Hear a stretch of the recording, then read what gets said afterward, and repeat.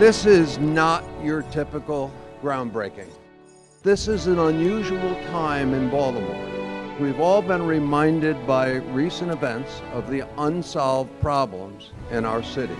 Some have responded or will respond to these recent events by withdrawing investments or hesitating to make a commitment to Baltimore. But this is not a time to turn our back on this great city.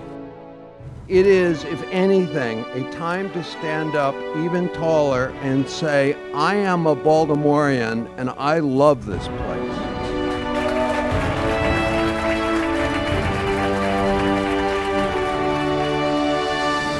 We're here to celebrate today the development of an extraordinary building rising out of the remnants of an old derelict abandoned factory site. Anthem House represents amazing fitness. We have outdoor space, we have free open space, we have a fitness center that opens onto the harbor. It's going to be one of the most inspiring places that you can imagine to exercise and work out with people.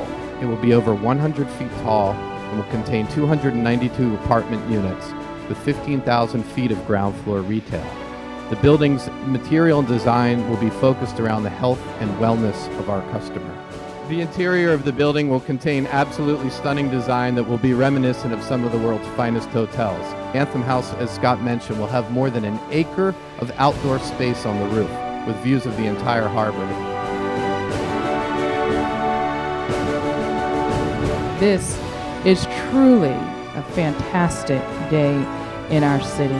Thank you for being here and supporting uh, this development and supporting our city. I stand here today as a representative of my Bozzuto family and associates that we are going to do our part to make this city even better.